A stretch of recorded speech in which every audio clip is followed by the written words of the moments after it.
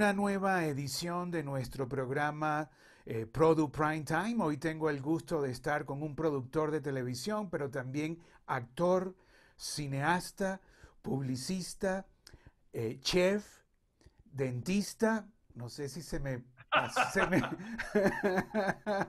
Desde Miami Beach, el gran Carlos Mesber. Carlos, gracias por estar con nosotros. Hola Richard, gracias a ti por el espacio. Eh, espero que estés muy bien.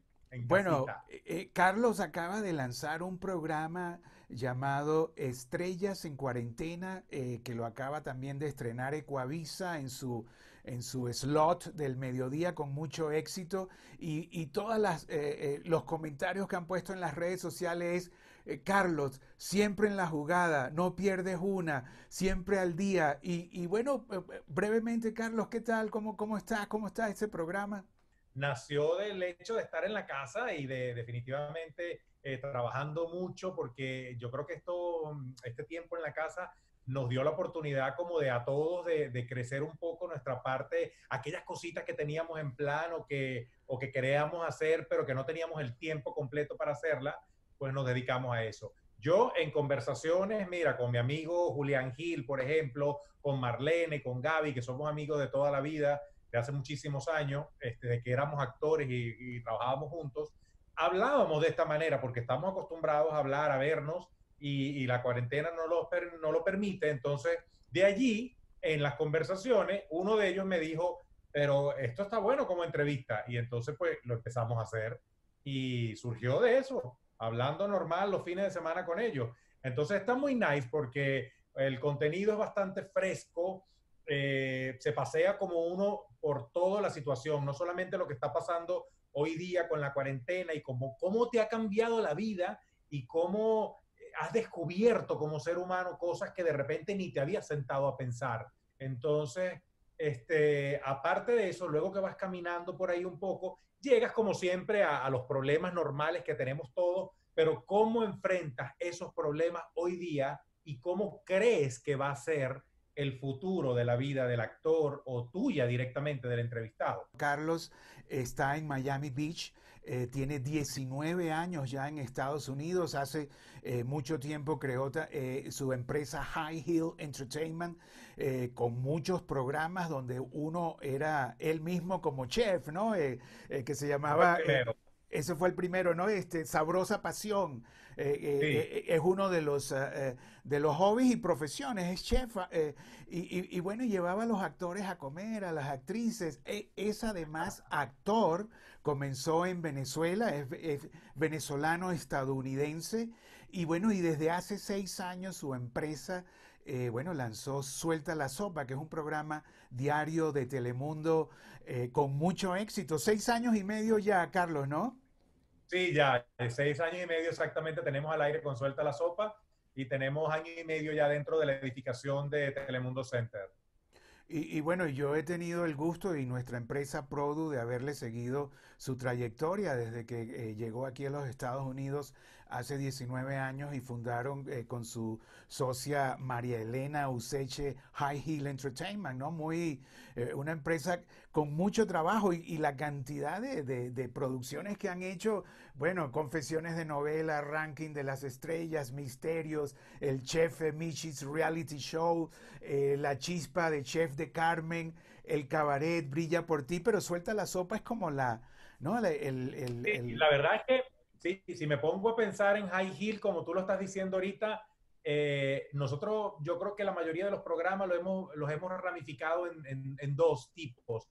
Todo lo que tiene que ver con celebridades, somos expertos en celebridades, pues todos los programas los hemos hecho. Yo creo que es la única compañía de la industria que ha dedicado el 99% de su show a, celebridades, a diferentes mm, formatos, pero todos con celebridades. Y también mucho de cocina, porque todo esto que hicimos para MGM Latinoamérica, que es las dos temporadas de Chef Michi, las dos de Chef Carmen, que fueron muy buenas y fueron reality, fueron de cocina. Y de Sabrosa Pasión también hicimos dos temporadas largas de cocina. Entonces, pues yo creo que esa es nuestra especialidad, es la farándula, o sea, los famosos. Y por ahí hemos agarrado todo, todos los shows es nuestro fuerte, pues, y, estamos muy contentos con María Elena Useche, hemos trabajado bastante, hicimos una buena dupla, y, porque además somos amigos, Entonces nos divertimos trabajando.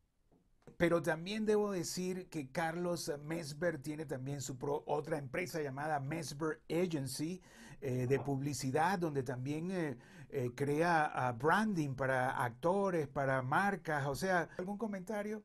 Mira, la verdad es que sí. Le he sacado bastante provecho a la situación porque tengo el mal, Richard, o el bien de que no sé ver lo negativo de nada. Te digo que tengo el mal porque me ha dado hasta problemas eso con amigos, con pareja, con todo el mundo, de que siempre me critican que veo lo positivo. Yo no entiendo cómo me pueden criticar eso, pero me lo critican. Tú siempre ves todo bien, tú siempre lo ves todo bonito. Y yo les digo, pero ¿y te vas a molestar por eso? Deberías de alegrarte más bien de que veo lo positivo, no me armes un rollo por eso. Te lo juro que me ha dado problemas. Ver lo positivo me ha dado problemas en la vida hiciste de villano, ¿no? En unas, en unas telenovelas muy, muy conocidas y muy exitosas como Gata Salvaje, Secreto de Amor, eh, Inocente de ti. Luego, bueno, trabajaste mucho en los unitarios de Telemundo, Decisiones, ¿no? Que lo, lo trae yo creo que Patricio Wills de RTI. ¿Y, ¿Y cómo decidiste venirte a Estados Unidos? No, cuando termino eh, odontología, que me graduó en el año 2000, que para mí recibir ese título es como haber recibido la llave de la celda para salir de prisión, porque como me pasé toda la vida estudiando, desde los tres años hasta los veintipico, dije, uff, por fin ya le entregué un título, ya terminé la carrera del, ¿sabes? Somos árabes, eh, venezolanos, pero árabes al fin, muy estrictos con la educación y con y con los pasos a seguir de la familia, etcétera.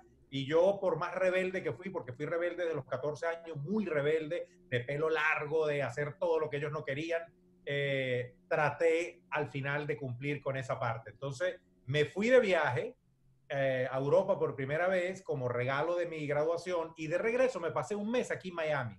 Y estando aquí, dije, esta es la ciudad donde yo quiero vivir yo voy a llegar hablando con Arquímedes Rivero en Venevisión para ver si me da una de las novelas que están produciendo en Miami como actor. Y pues se amoldó todo perfectamente, como siempre, gracias a Dios me ha pasado en la vida. Mi amigo, mi mejor amigo en ese entonces, un gran amigo que todavía tengo, que es escritor de novela, me llamó y me dijo, mira, me dieron la novela de Miami. Entonces yo le dije, ¿qué?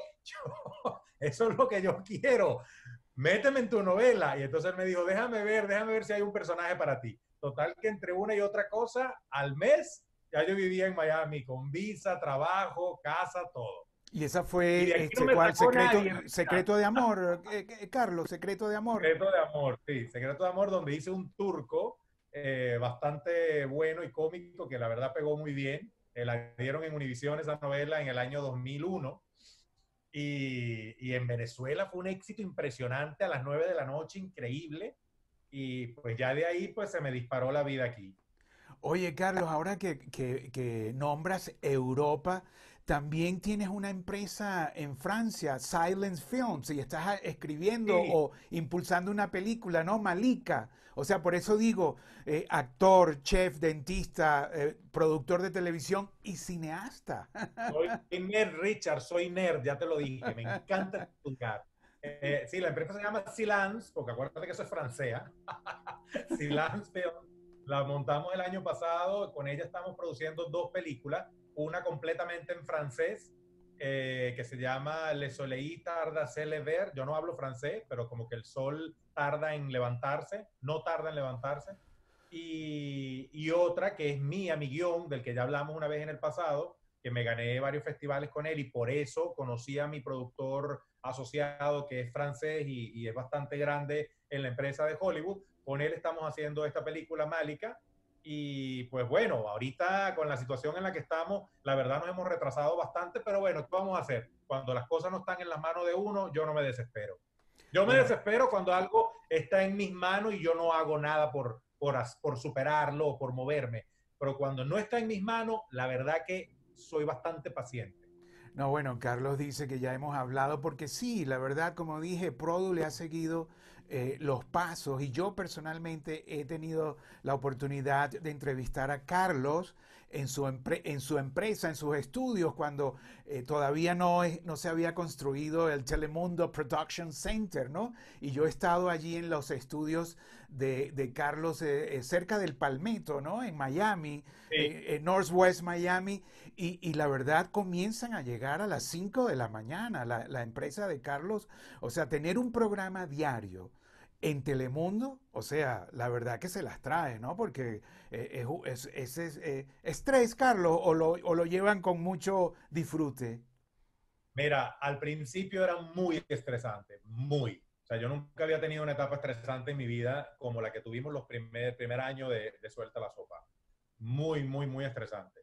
Pero hoy día, hoy día bastante relajado a nivel de, de que es como una máquina que ya está bien aceitada. O sea, somos un equipo bastante eh, ya amalgamado uno con otro y nos movemos bastante bien. Mm, ya la máquina camina bien, cómodamente. El estrés del día llega en el momento, o como somos un programa en vivo y de noticias, de actualidad, de entretenimiento, tenemos siempre un poco de estrés una hora antes del show hasta que termina. Haz de cuenta, el show sale de 3 a 4 en Estados Unidos en el Eastern Time, entonces de 2 a 4 hay estrés porque pasa algo y mil veces nos ha pasado, o sea, semanalmente tenemos dos casos así o tres. Un programa al aire, un programa al aire se las trae, ¿no? Pon aquello, sí, claro, quita esto, pon aquello, necesito el b-roll, la tal noticia, llama a tal persona, pasó esto, búscala, o sea, pero yo creo que eso es lo, lo sabroso del, de ese tipo de show, pues hay que gozarlo, hay que vivirlo con pasión esta pandemia que te ha traído una reflexión, te ha traído, tú que ahora también estás hablando con las estrellas personalmente, tú, tú mismo, ¿qué onda? ¿Qué nos puedes decir? ¿Va a cambiar la verdad a, la humanidad o no tanto? Richard, yo te voy a decir algo. Eh, esta pandemia yo le he sacado el provecho, yo creo que como nadie. No solamente mm, deja tú a un lado Estrellas en Cuarentena, que es un programa pues nice de conversación, como ya te dije antes con, con Famoso, que te iba a decir que un productor amigo que lo vio me dijo, cuando vio el capítulo de Marlene Favela, me dijo, parece que estuviera sentada en tu casa tomándose un té contigo, porque es tan familiar y tan sincera la conversación que sientes eso. Pero fuera de eso, eh, yo siempre he tenido la, la, la tendencia a querer hacer eh, videos eh, y todo lo que tenga que ver con ayudar a las personas a ser mejor ser humano, a conseguir el éxito, a tratarse bien, al respeto entre uno con otro, porque toda mi vida, desde niño, he pensado así, siempre he querido hacerlo. Soy el consejero de todos mis amigos, de toda mi familia, que es inmensa. Eh, y entonces aproveché en esta cuarentena a sacar todo eso que tenía pendiente, eh, anotado, pero que no había hecho y lo adelanté. Por ejemplo, eh, desarrollé mi Facebook, lo tenía como parado, lo desarrollé eh, hace un mes exactamente, comencé con dos series a producir videos aquí en mi casa. Una serie se llama Cafecito conmigo, que ya tiene nueve capítulos subidos, y otra serie se llama Sabrosa Pasión Digital. Entonces, eh, Sabrosa Pasión tiene 12 capítulos y Cafecito conmigo tiene nueve. Me ha ido muy bien he crecido en seguidores el doble en un mes. Este, la página ya empezó a extenderse, la creación de videos, la gente, o sea, ya hemos tenido más de 200 mil reproducciones, que es muchísimo para haber empezado recientemente. Tú sabes, porque tú manejas Facebook también, y ahí te empecé a seguir y a, y a ver lo que hace. Entonces, me parece que es muy ideal ahorita eso, y entonces esta otra compañía que mencionaste, Mesver Agency, la estoy especializando en la creación de contenido de ese tipo para Facebook y para YouTube. Y también, por fin, ya cerré la semana pasada este acuerdo con una editorial y saco mi libro también este año en noviembre, que este tiempo aquí me permitió terminar de corregirlo porque ya lo tenía escrito. Y entonces estoy pensando en el título, si le voy a tener algo que ver con café o no también como Café Expreso para el Éxito, Cafecito conmigo, algo así.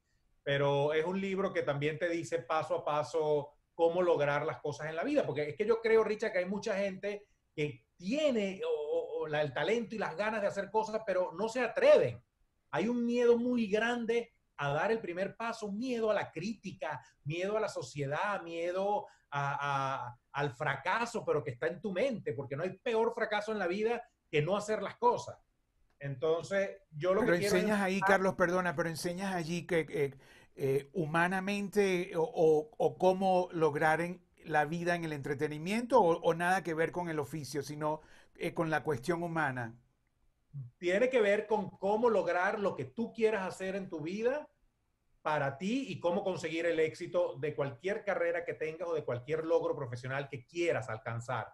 Pero claro, los ejemplos que yo pongo que son de la vida real, pues son los míos. Entonces son ejemplos del entretenimiento y son cosas que, yo he vivido porque yo comencé este, como actor y a mí no creía nadie y pues logré montar esta compañía y logré un montón de cosas más que ya las hemos mencionado algunas entonces, simplemente y muy humildemente lo que quiero hacer es decirle a la gente, mira, yo pude, y yo pude porque hice esto, esto y esto, tú también puedes. Entonces, deja de estar con miedo ahí en tu casa, sal y atrévete y haz lo que tengas que hacer. bueno, y si alguien se ha atrevido, eres tú, Carlos, ¿no? Esa cantidad de programas que tienes y ahí mismo en la pandemia, ahora un libro, eh, dos programas digitales para Facebook, el programa de eh, Estrellas en Cuarentena eh, Broadcasting, porque bueno, lo está pasando Ecoavisa, lo está vendiendo Guadalupe D'Agostino con su empresa Miami Open Media. La verdad que Guadalupe sabe bastante. Este, y, y, qué más? ¿Qué más estás haciendo? ¿Cuál, Para mí es un placer trabajar con Guadalupe, Richard, porque yo no sé si tú te acuerdas o sabes o no, cuando yo empecé a vender este Sabrosa Pasión, eh, fue con ellos que, que, yo firmé el contrato con RCTV Internacional y los conocí a todos ustedes, a, toda la gente de la industria, a ustedes, la gente de Produ, a todos los que son amigos míos hoy día, a través de RCTV Internacional. Entonces yo, todo, bueno, yo creo que el 60% de las cosas que yo sé de venta, eh, y de distribución las aprendí con Guadalupe, porque yo me sentaba con ella a verla. Guadalupe es muy buena. Ella era la presidenta de, de TV Internacional en ese entonces que a mí me tocó viajar con ellos a varios festivales y yo la veía y aprendía de ella y entonces siempre le preguntaba y en las cenas me sentaba al lado de ella y entonces como que hicimos muy buena afinidad y entonces ahorita pues la llamé y le dije, mira, Guadalupe, vamos a vender esto y tal y se quedó fascinada con la idea porque me dice, oye, por fin alguien está produciendo algo, entonces podamos este, hacer algo diferente. Y, y, tengo un cuento buenísimo con Guadalupe, que yo no sé si es apropiado contarlo aquí o no. Bueno, eh, Guadalupe, como dice Carlos, Guadalupe, como dice Carlos, solo un paréntesis, Carlos es una ejecutiva de ventas venezolana de Radio Caracas, eh, televisión. Eh, eh, eh, este, eh, así con mucho impulso y muy conocedora, muy honesta, muy recta. Y, bueno, y la industria la quiere, ¿no? y ahora tiene su propia empresa. Pero adelante, ¿cuál es el cuento de Guadalupe? No, este cuento no es de Guadalupe, es mío. Este cuento yo creo que me da pena contar. adelante, adelante, confesiones, confesiones de novela. es muy bueno el cuento, Richard. Ah, mira cómo se ríe. Sí, porque es que cuento de verdad que es demasiado bueno. Cuando yo estaba en ese entonces, en esa época de, de vender y tal con RCTV, pues yo estaba muy nuevo. Yo acababa de terminar la última novela, era el 2007, 2008, por ahí. Y entonces estábamos en, en, el, en Las Vegas, en el NATE, ¿no? Entonces, eh, había un grupo de actores, porque tú sabes que RCTV era de las empresas que llevaba talento para que compartieran con los clientes y eso. Entonces, por cierto, Mónica Spear era una de las que estaba, que en paz descanse. Eh, qué agradable era Mónica, eh, impresionante. La pasábamos en ese viaje. Entonces, yo, que venía de ser actor y estaba convirtiéndome en productor, un cachorrito de treinta y pico de añitos, 32 creo, este, pues salí con ellos, me fui de fiesta, me fui de farra hasta las 4, 3 de la mañana, qué sé yo. Al día siguiente había una reunión en la habitación donde yo me estaba quedando. Entonces, sabes que esas reuniones tienen una suite, pero también tienen un cuarto. Entonces, había una reunión ahí a las 9 de la mañana y se me pasó la hora. Mira, Carlos, cómo se ríe. Y entonces me llama, atiendo el teléfono del hotel y me dice, era Guadalupe, y me dice, Carlos, ¿qué haces ahí? Y yo le digo, ¿qué hora es? ¿qué pasó? Son las 8 y 30, no puede ser. Uy, Dios mío, a mí eso no me pasa nunca, Richard. Nunca, nunca me quedo dormido. O sea, nunca, ni, ni en la escuela. Pero se me fueron los tiempos, el cansancio todos los días, tú sabes cómo son esas ferias. Las Vegas, ¿no? Las Vegas tiene también su, su, encanto, no, salí Con todo, salí con los tres, cuatro actores que andaban, que son amigos míos también desde, desde la época de novela, y fue como un reencuentro night. Total que se me fueron los tiempos, no me di cuenta. Entonces me dijo, bueno, mantente ahí, no te muevas de allí, que van a atender a alguien en el cuarto. Yo me estoy riendo porque yo no sé si Guadalupe se va a molestar cuando escuche este cuento al aire. Entonces, este, yo le digo que yo me quedo tranquilo, yo no me muevo, yo me, no, me voy arreglando. Yo me vestía de chef, no sé si te acuerdas, y yo me ponía en el salón principal de RCTV con una mesa, cocinaba, yo hacía tabules, hummus y tal, y todos los que llegaban, todo el grupo de, de clientes que llegaban, yo les daba la comida y la pasábamos un rato bastante agradable, ¿no? Así fue como empezamos a vender Sabrosa Pasión. Entonces, y yo me empecé a ser amigo de todo, toda la gente de la industria. Entonces, este, llegó la vendedora de Latinoamérica, estaba con una clienta y estaban ahí eh, vendiendo, pues como tú sabes que hacen, muestran los videos y tal, en la, en la suite, pero yo estaba encerrado en el cuarto, en la habitación. Y me pego a escuchar detrás de la puerta, yo estaba vestido de chef, yo estaba listo. Y oigo el demo de Sabrosa Pasión. Y entonces digo, están vendiendo mi programa. y entonces me quedo escuchando y veo que como que, no sé, como que faltaba algo. Y abrí la puerta y salí. Entonces, la, la muchacha, que no voy a decir el país, la, la, clienta, se quedó amarilla, se quedó muy sorprendida de ver que el chico que ella está viendo en el demo apareció en persona de la puerta de un cuarto que ella no tenía ni idea que había alguien ahí. Entonces, bueno, eh, seguro que compró el programa, eh, Carlos. Claro, salió y salí vendiéndole el show. Y le dije, mira, sabrosa pasión es esto, aquello, lo otro, que taca, taca, taca, taca, taca. La vendedora se quedó loca de mala manera. Y, y, la, y la compradora se quedó entre choqueada y fascinada y compraron el show. Entonces después Guadalupe me armó un escándalo, ¿no? Me dijo, mira, tú no puedes hacer eso, esto, aquello y lo otro y tal. Y yo le dije, mira, yo soy talento ahorita y estoy aprendiendo. Y, y también dijo, bueno, de ahora en adelante el programa lo vendes tú. Ah, bueno, debo, debo, decir que ese programa Sabrosa Pasión se ha vendido en Croacia, en España, en Rumania, en casi toda Latinoamérica, en Checoslovaquia. Sí, RCTV hizo muy buen trabajo. La verdad que en aquel entonces lo colocamos en 42 países y gracias a eso fue que pude hacer la segunda temporada ya abriendo High Hill. Bueno, Carlos, muchas gracias, la verdad, por compartir eh, tu vida, tu espíritu, eh, tu, tus proyectos, lo del libro, la verdad no lo sabía y bueno, muchas gracias. Y nosotros, este, eh, bueno, seguimos visitando casa a casa a los protagonistas de nuestra industria, como el caso de Carlos Mesber, un gran protagonista.